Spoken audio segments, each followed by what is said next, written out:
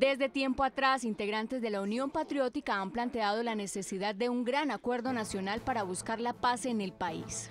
Nos acostumbramos a que esta sociedad sea una sociedad más bien enferma, una sociedad que no piense en que nosotros nos merecemos una, un país distinto. Para este líder, en un escenario de odio y polarización como el que vive Colombia, es necesario que se implemente el acuerdo de paz lo antes posible.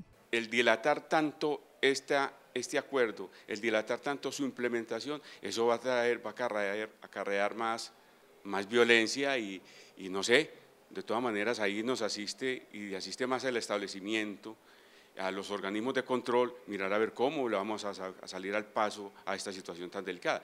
Piden que la comunidad internacional intervenga para que se garantice la vida de los líderes y campesinos que, según él, se convierten en blanco de los grupos violentos.